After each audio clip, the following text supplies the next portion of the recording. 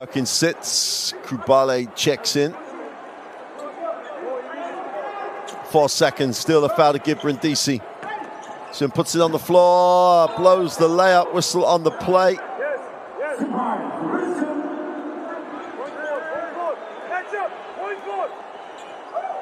Nice finish left hand. They're going to call it interference.